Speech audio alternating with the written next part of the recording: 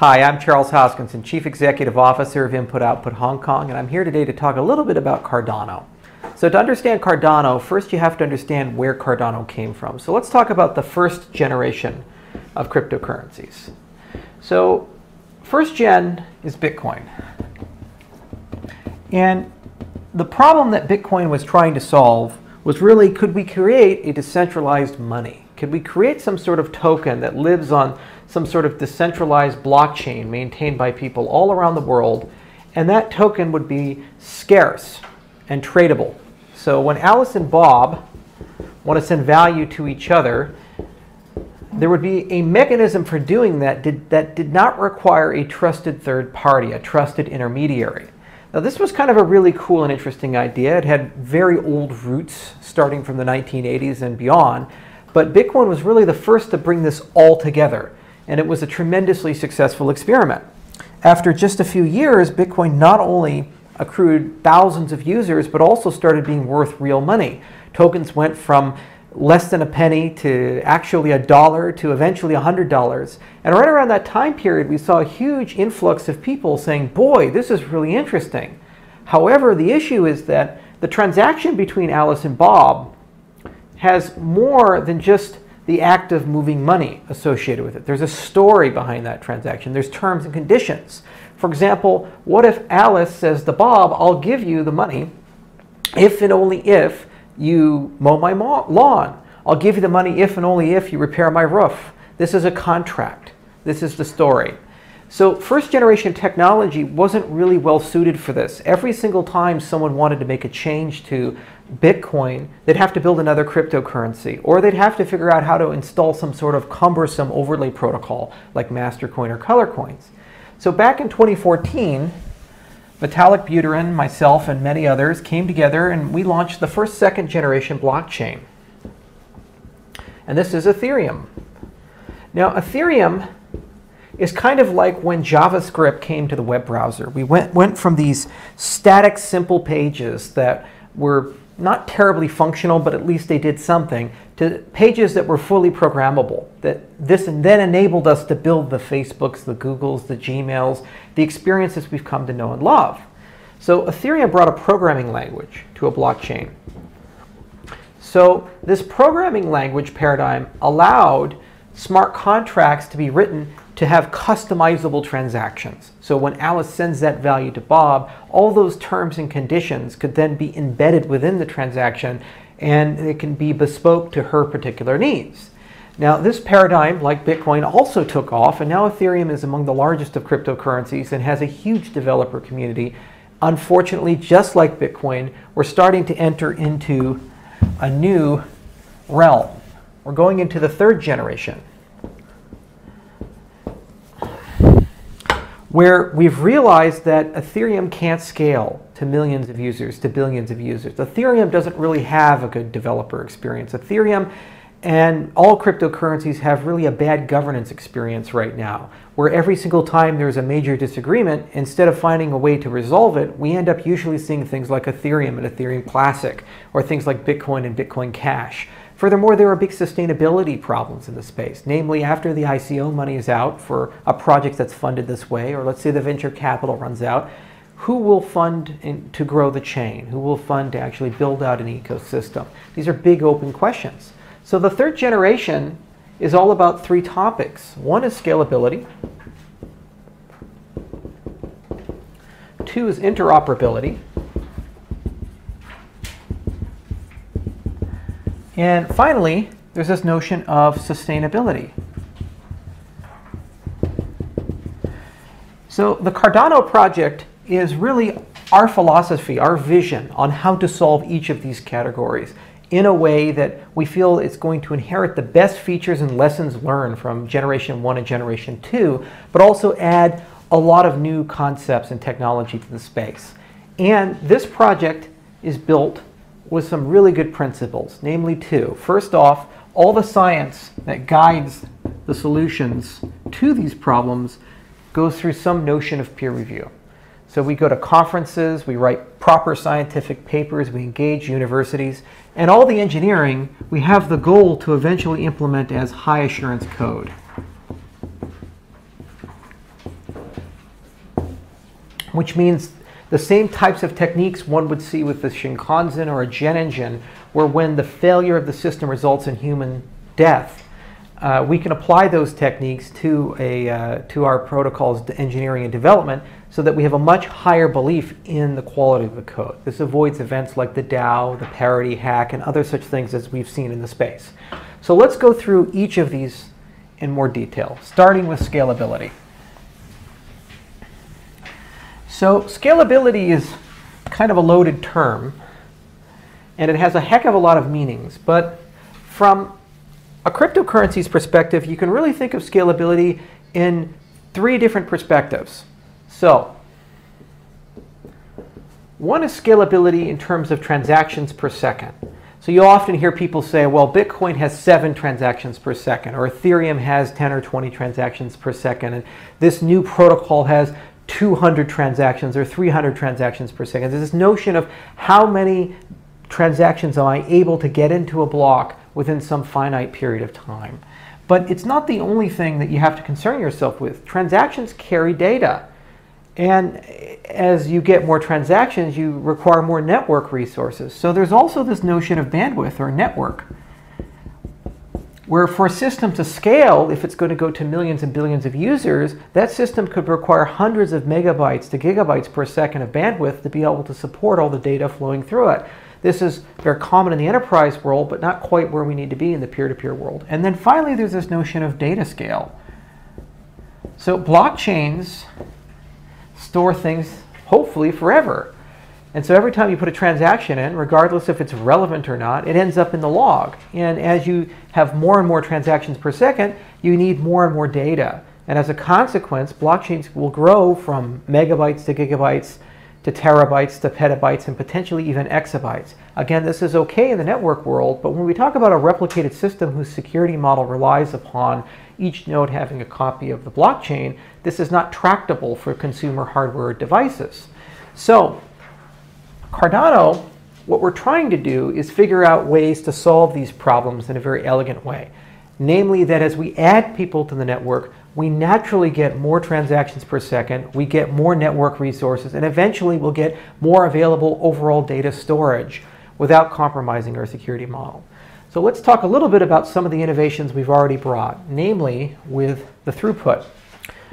We've developed a peer-reviewed white paper for a provably secure proof of stake protocol.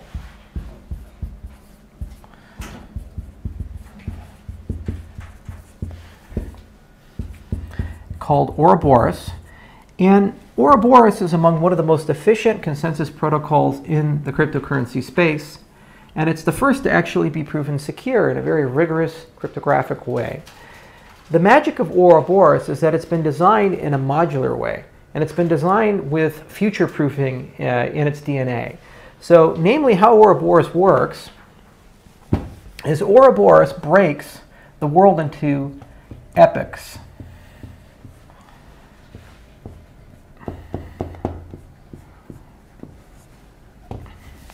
It takes a look at the distribution of tokens, and from a source of random numbers, it's able to hold an election and create slot leaders. Now, these slot leaders functionally do the exact same thing that a miner would do in Bitcoin. So this is basically the same as a person who discovers a block, wins a block in Bitcoin. But the difference is that it doesn't require the extensive computational resources that Bitcoin requires to construct a block. And as a consequence, this system is considerably cheaper to run, even though we still have similar security guarantees that Bitcoin currently enjoys. So it's a major advancement. But the other really interesting thing is that these slot leaders don't have to just maintain a single block and a single chain. They can actually maintain other blocks and other chains. Because the cost of constructing a block is so low, it's actually now tractable to talk about consensus over a range of blockchains instead of a single chain. Furthermore, epochs perhaps could even be run in parallel. So instead of having one epoch run and then another epoch run, one could develop a system using Ouroboros where epochs run in parallel and transactions are partitioned accordingly. What this effectively means is as you gain more users and your users gain more capabilities, these slot leaders will be able to maintain more types of blockchains and also run transaction processing for blockchains in parallel. This is a major advancement. The other cool thing is that Ouroboros has very rigorous security standards in terms of its, its theoretical foundations as well as its implementation. So as a consequence, as we develop new capabilities for the protocol, these pro capabilities are somewhat composable meaning that these capabilities will also be secure. Whereas other systems, one has to prove these things on a case-in-case basis, in some cases make major modifications or changes to their system. In addition to this, we intend on Ouroboros actually being quantum resistant sometime in 2018, hopefully, where when the slot leader signs these blocks, they'll be using a quantum resistant signature scheme so we can get even more future proofing into the system.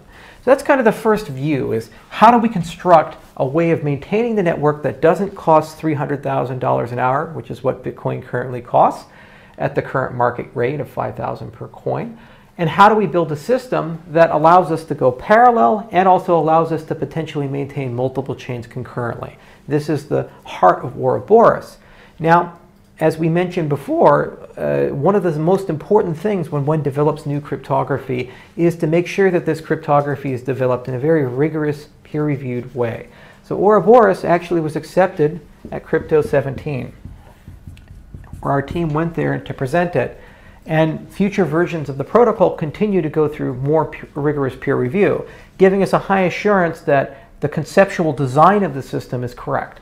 The other side of it is we're actually modeling a formal specification of Ouroboros using Psi-calculus,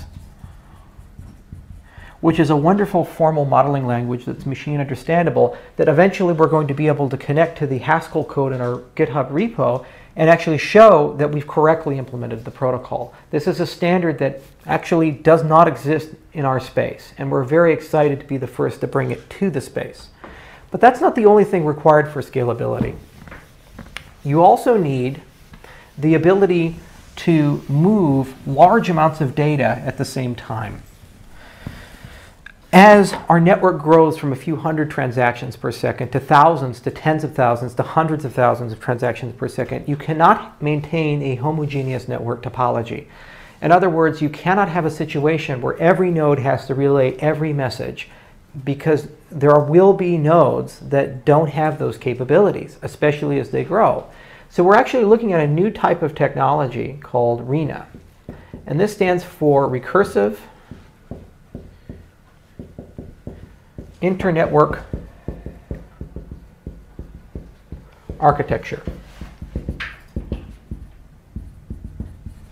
And so RINA is basically a new type of structuring networks using policies and uh, uh, clever engineering principles, mostly conceived by John Day, who's based out of Boston University. And the goal here is to build a heterogeneous network that gives you similar types of privacy guarantees, transparency guarantees, uh, scalability guarantees that you would expect to get from uh, network protocols like TCP/IP, but do so in a way where you can actually reason about how the network is going to compose in a formal capacity.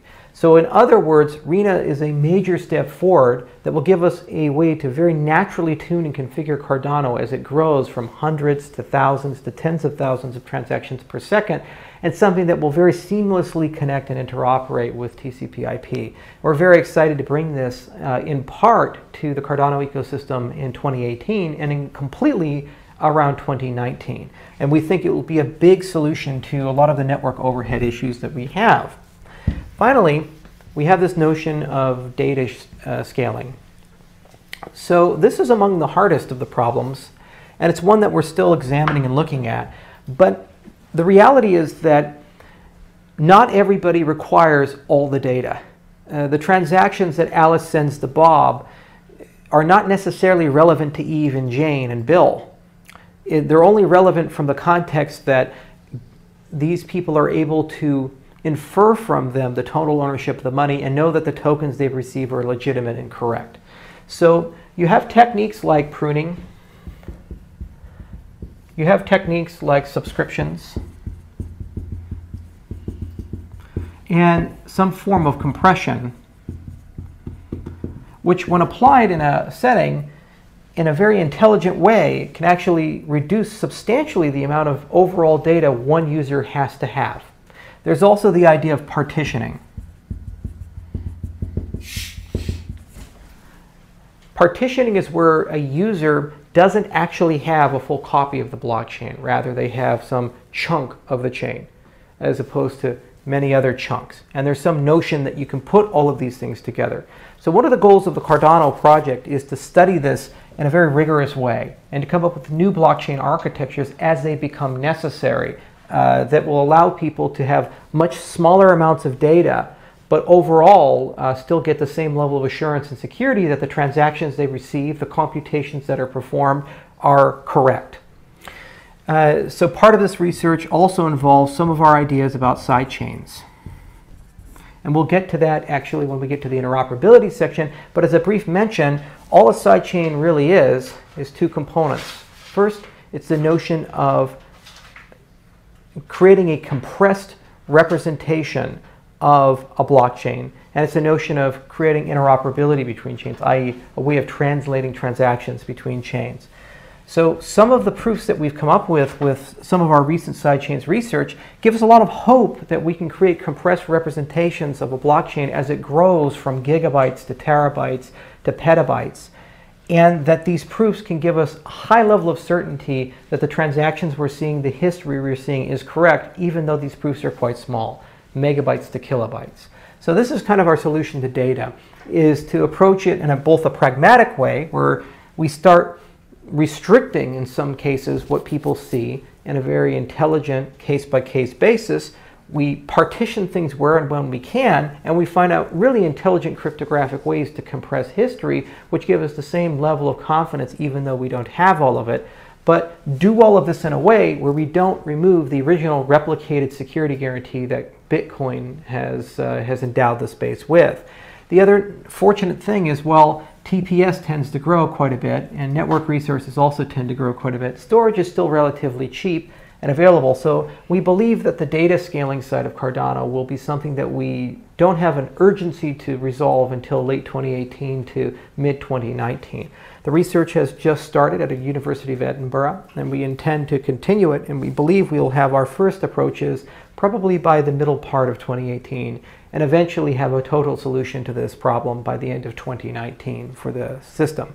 So this is kind of the first component. Let's build a protocol that allows us to scale up the T, uh, transactions per second. So as we gain more people into the ecosystem, we get more throughput. Let's create a network stack developed by one of the early internet pioneers that has learned from some of the issues that TCP IP has in other systems and is a bit less fragile and a bit easier to configure and tune so that it can handle a large heterogeneous network based upon real life scenarios. And let's come up with some clever ways of handling the use of data in our system without compromising our security guarantees. And also when partitioning is adopted, Similar to like BitTorrent, you actually gain a lot more resources for overall storage. So if we don't have to replicate the database, rather we can distribute it, there is some hope that we can build a large distributed uh, uh, file system for Cardano and thus actually have total available petabytes of data even though any particular user only has to have a small amount. So that's the first pillar, this notion of scalability. But the third generation demands two more. And therefore, for the Cardano project, we will do these things. First, there's this idea of interoperability. So interoperability is this idea that there will not be one token to rule them all. So sorry, Bitcoin. You're going to have many networks like Ethereum and Bitcoin and Ripple and legacy systems like the traditional bank networks running on older protocols like Swift and older settlement networks like ACH and so forth. And these systems all speak their own languages, and these systems all have their own business logic and rules. So currently, as it stands, it's very difficult for Ethereum and Bitcoin to understand each other. Substantially more so for the old banking networks, which have the added requirement of metadata and attribution to the transactions. So the problem is that if you don't have a single standard. And if you don't have a canonical way of communicating with these systems, then you run into a situation where, where, value gets very fragmented. So regardless of how decentralized any one of these particular ecosystems happen to be, the kingmaker will be the small on and offboarding hubs that control the movement of value between these systems. Currently, we are seeing those as exchanges, but there are others who could come, and these exchanges are very fragile. They're subject to being hacked. They're subject to draconian regulation. Occasionally they get shut down because of unwise regulatory policy, or in some cases, wise regulatory policy. And this is really not a good situation to be in for a supposedly decentralized, permissionless ecosystem to have a small group of actors control whether one can convert their value from one system to another system. Furthermore, when people do business in this world, if these businesses are regulated or even semi-regulated, they usually do have to interface and interact with the traditional financial world. For example, let's say that you're a cryptocurrency company and you issue an ERC20 token. Okay, so that ERC20 token, let's say you have a crowd sale and you raise millions of dollars worth of Ether. And as a actual company with a bank account in a legal jurisdiction, you begin selling that ether and deposit millions of dollars into your bank account. Well, then, bank is a regulated entity, and so the first question they're going to ask is, where did you get these millions of dollars from? And the bank will then ask you to, to explain, to provide some uh, data and details. You'll say, oh, well, I, uh, I had a crowd sale and I sold an ERC20 token and uh, got a bunch of Ether. And they say, okay, well, who did you get it from? Who are your customers? And you respond, people over the internet. And unfortunately, that's really not a good answer. And this entity as a regulated business entity that has to file suspicious activity reports, that has to deal with uh, people on their side, like the Treasury Department or maybe the European Union and so forth these entities feel that this is a very risky proposition. And this is the unfortunate reality that we tend to live in in our world. We have fragile interlinks throughout cryptocurrencies as well as uh, the legacy financial system. And there's really no way to escalate transactions in a very natural way so that when one wants to do business with the legacy world, that metadata, that attribution, the compliance information that one would want to have is not present. And as a consequence, anybody doing business here automatically becomes a high risk business. This is an unfortunate situation. So the idea of a third generation cryptocurrency with respect to interoperability is a cryptocurrency that has the capacity of being able to understand and watch other cryptocurrencies. A cryptocurrency that when it sees Ethereum and an event occurring here can actually verify if that event is true or false. For example, if Alice says she has Ether and sends Ether to Bob, this cryptocurrency ought to be able to actually know that that's a legitimate transaction if it's uh, something in the concern of the third generation cryptocurrency. So cross-chain transfers are reliable and they should be able to do this without needing a trusted third party. That's the single most important thing because we want to create an internet of blockchains, an internet of value that flows around just as easily as Bitcoin flows around or Ether flows around. We want to move cross-chain. So the first component of that is to have some notion of sidechains. Now this is not a new idea. Atomic cross-chain swaps or sidechains, these things have been around for a long time. They've been proposed since as early as uh, 2012, perhaps even sooner. But the basic concept is that there is some way of structuring information from one chain to another chain such that when a transaction is sent, that compressed structuring of information gives you the ability to know if that transaction's legitimate or not. In other words, the person sending it to you actually has that value and also this value is not a double spend. It's a very important concept. The other side of it is that you have to have the ability to do this in a very compressed way. There are over a thousand cryptocurrencies in use and cryptocurrencies are becoming larger and larger. So you can't say, well, the only way to understand the other system is to have a copy of the entire blockchain of the other system. This is not a scalable solution. You have to be able to look at these systems in a very compressed way. So Cardano has started its sidechains effort. We recently published a paper with Andrew Miller, Dionysis Zindros, and Aggelos Kiayias. And this paper contains a very well thought out uh, approach for how to generate proofs in the proof of work world called non-interactive proofs of proof of work. And we're very hopeful that this approach can also be adapted in the proof of stake setting. And then these two things together, combined with some clever engineering, should allow us to have a pretty deep and detailed understanding of what's going on amongst other cryptocurrencies which are here to stay. However, this is only part of the story. Even if we can create a utopia where all blockchains can talk to each other and be seen and heard and they go from blind, deaf, and dumb to very intelligent and verbose. The issue is that this world is still incompatible with this world, principally because of three factors. One is the notion of metadata. Two is the notion of attribution. And three is the notion of compliance. So, metadata is the story behind a transaction. It's not that you've spent $50 that matters. It's where did you spend it? What did you spend it on? Uh, to whom did you give it to? These types of things. That's metadata. It's really not well provisioned in the cryptocurrency space. However, it's the bread and butter of the legacy financial world. There's an enormous amount of value in the metadata of transactions. And in some cases, the metadata of transactions allows transactions to be uh, put into a hierarchy of risk. Certain types of transactions are tremendously risky. For example, if there's a wire transfer between two American banks based in New York amongst large companies, this is very common and happens all the time. If there's a wire transfer from a small American company to a small Russian institution, which in turn then goes to Iran, which in turn then goes to South Africa, this is a totally different scenario. Even if the amounts are the same, the amount of hops, the people who've touched it, the nature of the organizations, how long they've been doing business, this is all metadata. The problem is that metadata is incredibly personal. It's incredibly private. And it has a, a, a big difficulty in the cryptocurrency space because all the transactions here are permanent. They live on a blockchain. They're transparent.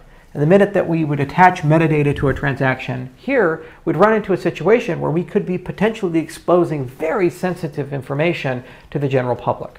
So one of the goals of the Cardano project is to figure out where, when, and how we can put metadata on a blockchain and benefit from some of the factors that we really care about, such as auditability as well as immutability and timestamping. Because tampering with metadata is a very, uh, very risky thing uh, it's very important in cases to have this, but at the same time, posting metadata to a blockchain in a responsible way, perhaps encrypted or perhaps with a special scheme that only allows certain people to see it, whereas others cannot.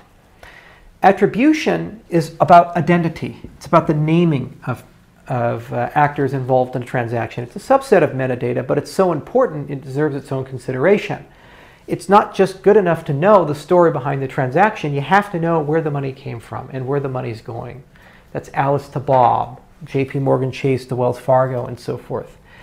This is so incredibly important that we've decided to try to construct a way where if one desires to add attribution to a transaction, it can be done in a pretty streamlined and easy way. But the difficulty is establishing a web of trust or some sort of identity hierarchy. One of the reasons why we live in an internet with passwords and usernames is because we actually don't have a good way of identifying the people on the internet.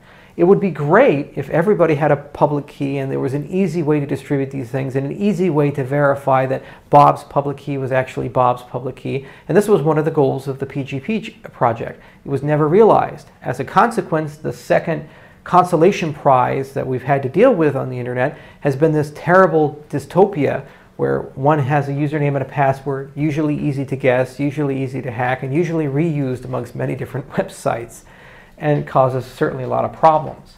So the same problem there is incumbent here. The difference is that cryptocurrencies are factories for cryptographic credentials. They give you a place to uh, store public keys, they give you a place to store a web of trust, and a whole bunch of cryptographic mechanisms that go above and beyond what one would see in, uh, in a normal website. Cryptocurrencies are basically factories for cryptographic credentials. unlike normal websites or unlike the current internet, cryptocurrencies give you the ability to organize, manage, store public keys, and develop all kinds of webs of trust, as well as an even more advanced layered cryptography, which has been invented over the last 20 years. So part of the goal of the Cardano project is to start exploring how we can use these things that we're currently using for storing and saving our money to actually also identify ourselves when and how we want to do. And the hope is that this can then be used uh, when people are required to give attribution to transactions. For example, perhaps when they send value to an exchange or back, they can do so in a very graceful and easy way.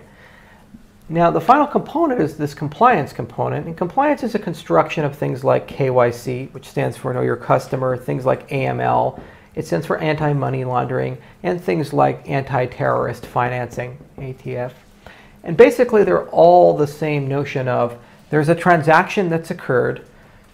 What do we know about this transaction such that we can say it's a legitimate transaction? This is something that is not really considered in the crypto world, but it's the bread and butter of every single financial institution, whether they're an exchange, they are a bank, or anybody who's in a position to be a money service business where they're handling money on behalf of somebody else. There's very harsh and strict global regulation and standards for how anti-money laundering and know your customer and compliance needs to work in general. So, with respect to this, our hope is that we can find a healthy balance where once we've distributed these cryptographic credentials and once we have provisions for metadata, that these two factors can be put together in a very creative way on a case-by-case basis and a voluntary basis so that when somebody in the crypto world wants to do business in the legacy world, they have an ability to escalate the transaction from a standard cryptocurrency transaction to one that a bank would actually recognize and feel very comfortable with. For example, the uh, scenario that we gave in the beginning of this presentation about this ERC20 token crowd sale, one could entirely imagine the idea of saying that the only way one can send Ether to this transaction would be if it's stamped with some metadata accessible to the person being sent to, and it has some identity information that's transitive such that when they cash out and go to the bank, they can disclose that to the bank. But the key here is doing this in a way that protects privacy and doing this in a way that doesn't necessarily make people custodians of the data. As we've seen with Equifax hack and other such things, custodianship of personally identifiable information is quite problematic. So a big goal of the Cardano project is to explore this side of the space using new cryptography using uh, optional metadata, and also using things like trusted hardware, for example, which give us all kinds of capabilities from very secure ways to store credentials to the ability to provide guarantees that data has been destroyed after a period of time to things like geotagging, for example.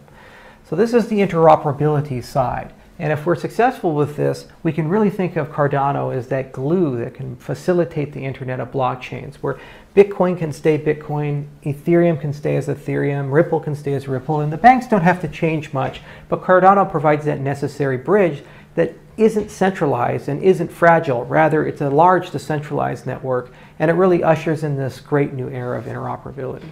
In the last two sections, we talked about scalability and interoperability, respectively.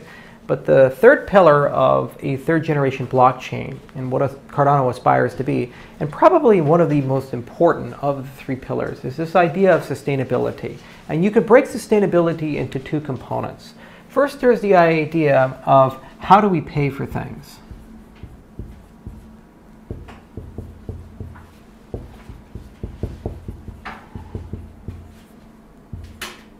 So cryptocurrencies are not companies even if one is to say a cryptocurrency or a token is a security, it's still somewhat decentralized. It's still infrastructure. It's much more like roads. It's much more like TCP/IP. They're protocols. And so when you talk about a protocol that's open source, the idea is to minimize the operational cost of that protocol. So things like putting tolls on the protocol or intellectual property on the protocol, even if it's well intended, for example, to fund a foundation, are likely to be less competitive than completely open, completely free protocols. So as a consequence, it's very difficult to figure out exactly how one ought to maintain these systems, pay for these systems in the long term. So certain proposals such as a patronage type of model where a corporation decides to volunteer its developers may work in the short term, but the challenge is that those developers end up having a, a huge amount of influence over the evolution and growth of the system. So one can argue that a patronage model will lead to centralization of power into the hands of a few companies that want to modify the protocol in a certain direction. For example, right now, the W3C is having a large debate about bringing DRM into the browser.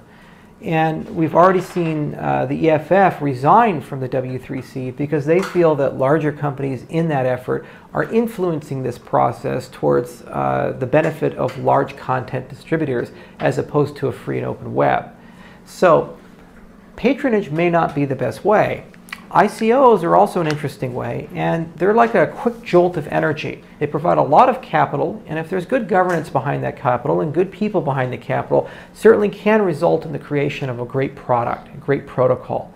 But the problem is that an ICO isn't an indefinite event or a continuous funding event. Rather, it's a large flood of money in the very beginning to do something. But no matter how large that pile of money is, it's finite and will eventually run out. So the first thing is, can we construct a system that has a treasury? A treasury is where a blockchain is able to print money and put some of that money into a decentralized bank account.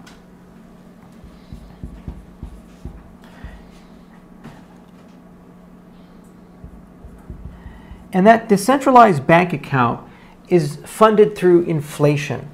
So the first to pioneer this model was Dash. If you look at Bitcoin, every time a block is produced, it started with 50 coins per every uh, block, and then it decreased by a factor of two every four years, and now we're down to 12 and a half. Uh, all of that goes to the miner. With the Dash model, instead of having all of it go to the miner, some of it actually goes into this decentralized bank account. Then there is a democratic method to vote on funding proposals. So what Bob can do is Bob can submit a ballot to the Treasury. And then the token holders can vote.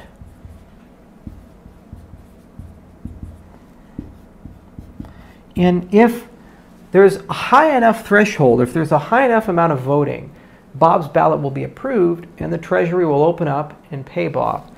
So this abstract model is actually incredibly robust because it has a way of being refilled on a continuous basis. It's directly proportional to the overall influence and size of the currency. So as the currency grows, uh, it has more and more resources available, which in turn can be spent to grow the currency. So there's a positive feedback loop. And also it has a democratic process, a democratic participation connected to the system that allows the stakeholders in the system to start having discussions about priorities, namely what ballots ought to be funded. For example, Bob can say, I'm a developer and I want to sustain the system and submit a ballot. And then Alice can say, I'm a marketer and I want to market the system and create content videos. And now the token holders get to choose what do they think is a higher priority further development or marketing. Or perhaps a scientist wants to write a new protocol to improve the existing protocol. Maybe it's a, a new privacy primitive, for example. Uh, or maybe it's a bit more security with the network stack or a bit more anonymity with the network stack. So instead of going to the National Science Foundation or the European Union and trying to get a traditional research grant, scientists of the future may even be able to use the Treasury model to propose funding for research. Or perhaps you're an application developer, a dApp developer. Maybe you want to bring state channels to Ethereum. Under the current model, one has to do an ICO or something along those lines. Issue an unnecessary token that really doesn't provide any utility above and beyond what Ether provides, but do so to raise capital in order to be able to bring this innovation to the system. Instead of having that and segregating value away from the principal token, the token holders now have a mechanism where they actually can provide funding for this dApp. And that's a really exciting proposition. The challenge, however, is that the construction of such a system is a tremendous endeavor and requires quite a bit of deep thought. First off, there has to be a proper and fair voting system. Second, there has to be incentives to vote, incentives to participate above and beyond some notion that this system is going to, uh, to be a common good. There's a kind of a tragedy of commons notion there. Third, there has to be an easy way to submit ballots, but do so in a way where ballots actually, the reasonable ballots, have higher precedence and priorities over absurd ballots. And do this all in a way that's completely decentralized, and do this all in a way that is somewhat distributed and doesn't require uh, centralized governance. So a treasury is quite hard. Dash had a first example of it, and they've had tremendous success as a project as a consequence. So at IOHK, we are quite interested in this model, and we think this is one of the single most important things about sustainability because it's leaving something behind embedded within the system itself that allows the system to pay for its own bills. Yet, it is, as I mentioned, quite a bit of research. So we've already started the process. We first started examining the voting system, and we're looking into using a modification of liquid democracy. And then combining that with an incentivized treasury model.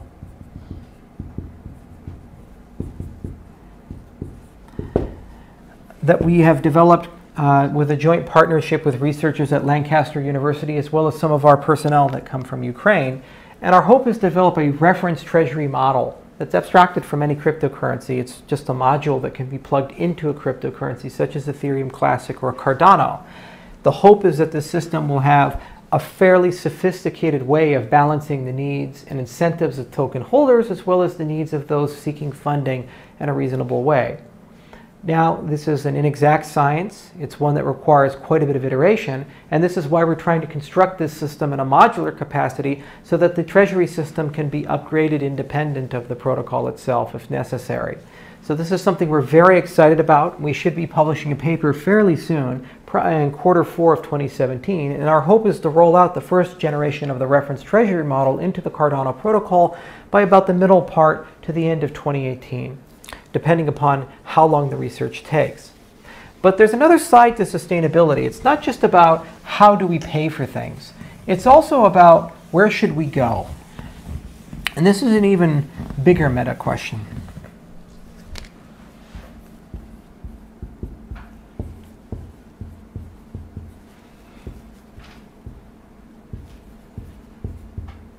So, cryptocurrencies are living creations. They're not static in that once you've written the code, it's finished, it's done. There's no notion of 2.0.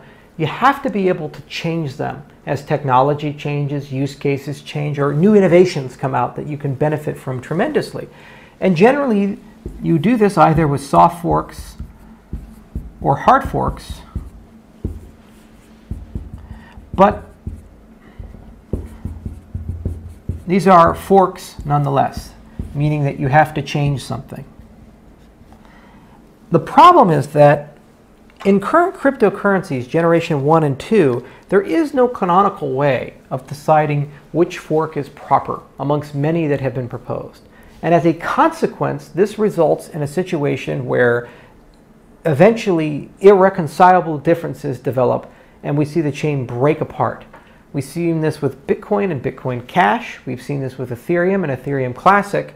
And it will only continue as these systems grow in scale and value. So what we have to do is argue by analogy, are there any social systems that humanity has constructed, which while they may be controversial, have still maintain a degree of stability and updatability? Constitutions are the closest notion that we have. It's the highest law of a country a constitution doesn't change too much, especially constitutions like the American Constitution, and they're somewhat difficult to change. But when they do change, there's universal consensus post change that they're going to follow this. We don't see a fracturing of the country into two Americas or two UKs or something like that. We kind of get consensus around it. Why? Because it's a slow, deliberate process, one that people agreed to follow, at least in principle. So if we were to treat protocols as constitutions, one ought to be able to amend the Constitution. One ought to have a process to do so. Because we're engineers and we like reusability, our hope is to use the very same types of mechanics that are used in the Treasury system for approving ballots to actually being able to consider Cardano improvement proposals.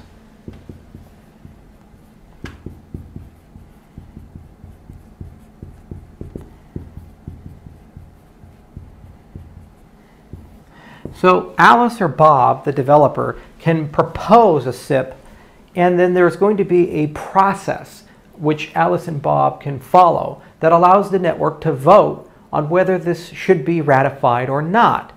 This should be a slow, systematic, deliberate process that takes time and effort with increasingly higher thresholds prior to eventual adoption.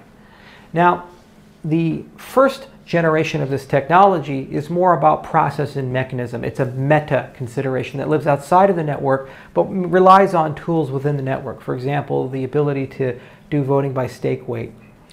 Later versions, we're going to explore, uh, explore the idea of converting a Cardano improvement proposal into something that's machine understandable.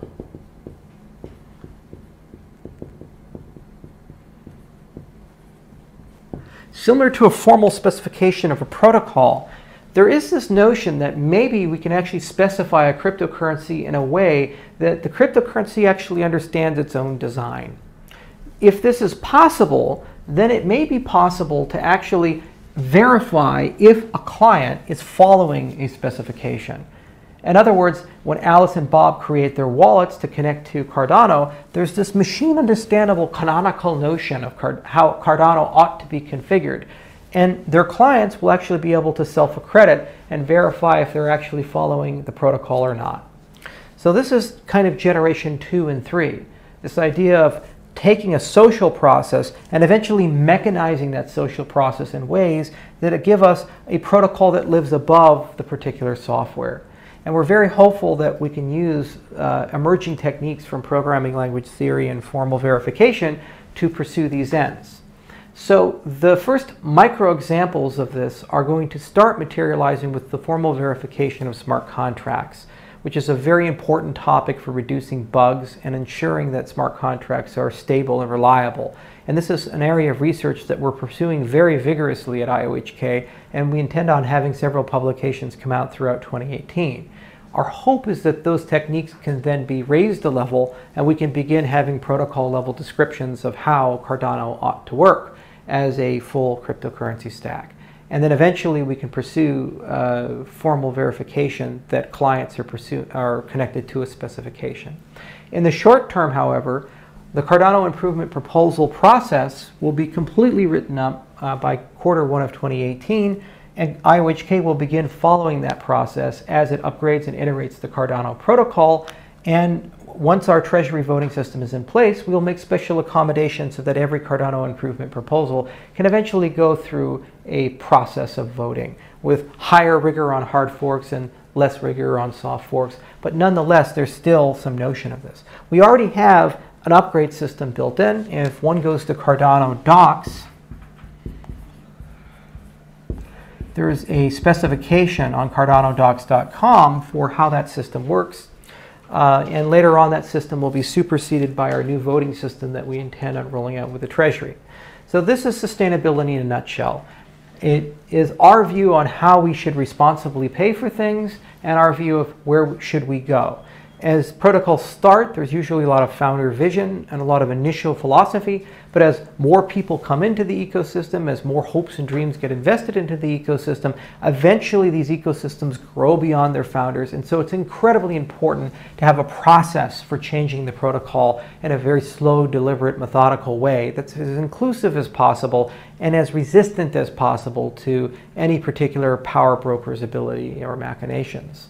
So that's Cardano. Cardano is a third generation protocol. It's built with peer review. It's built with high assurance software standards. It's built in Haskell, my favorite programming language. It's built by a large international team and we're very well funded and IOHK is committed to it until 2020. And it's built to be sustainable, interoperable, and scalable. Our view of how do we get cryptocurrencies from the first million to the first billion. Thank you so much for watching and I hope to hear from you guys soon.